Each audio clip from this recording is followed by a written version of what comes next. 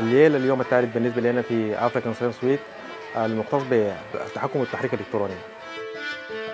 كان في مخيم مدة 15 يوم للأطفال. تم فيه إعداد لهم وتمليكهم بعض المهارات الأساسية.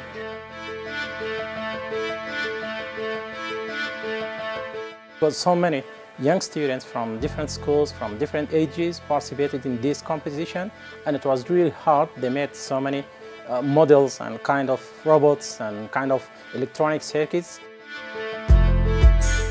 مشروعي هو smart irrigation system بيساعد في هنا الحفاظ على المياه والحفاظ على الجهد وما مكلف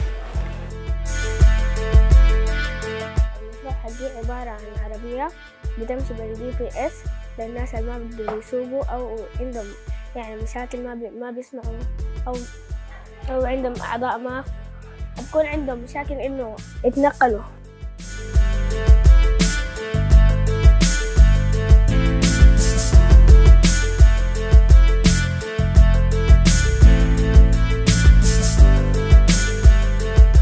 My project is uh, hard is a watch that contains a sensor that discriminates the person's medical state.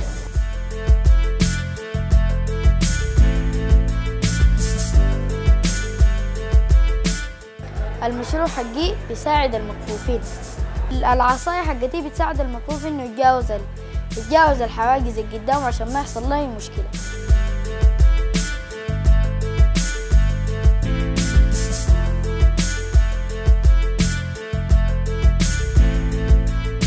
My idea is to design a device that crushes and grinds and filters plastic, performing the first stage of plastic recycling so that it can be prepared for manufacturing.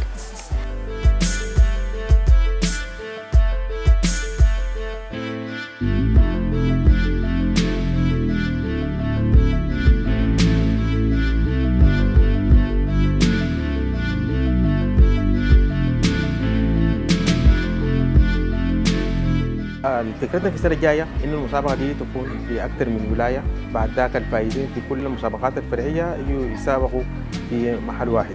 Uh, we are trying to encourage students, especially in early ages from seven or eight years, uh, to go for the uh, STEM program, science, technology, engineering, and mathematics, to go for that program and uh, test their uh, ability to create and their innov uh, innovation. So uh, we encourage them to uh, make their own projects and build it themselves with some support from some coaches and some uh, instructors and uh, trainers. keep our fingers crossed uh, for the next Einstein to be from Africa.